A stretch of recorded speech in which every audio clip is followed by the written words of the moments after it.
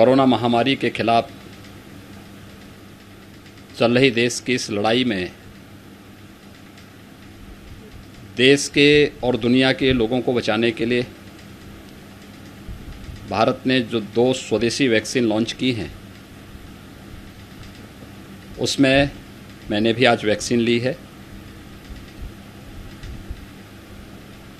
देशवासियों को corona vaccine मुफ़्त में उपलब्ध कराने के लिए आदरणीय प्रधानमंत्री जी का आभार।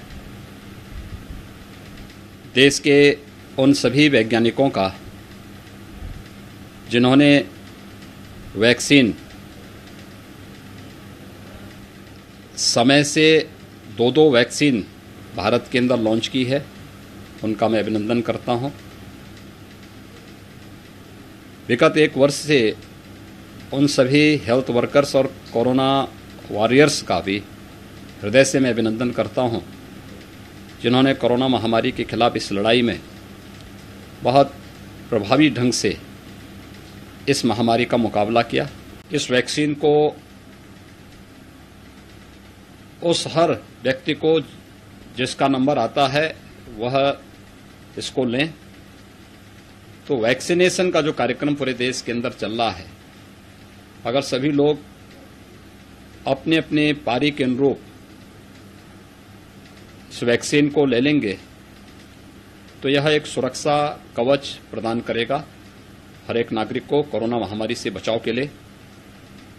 दूसरा मेरी अपील है प्रदेशवासियों से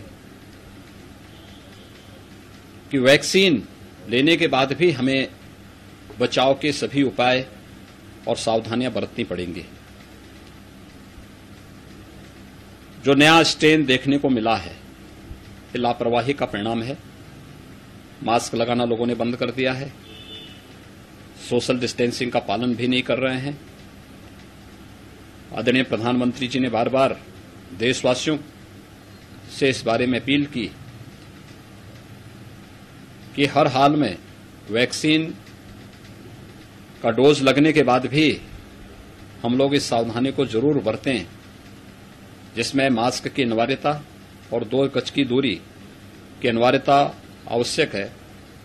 उसका पालन अगर हर व्यक्ति करता है तो कहीं भी कोई समस्या नहीं आएगी और हम कोरोना महामारी के खिलाफ इस लड़ाई को पूरी तरह विजयी बनाने में सफल होंगे।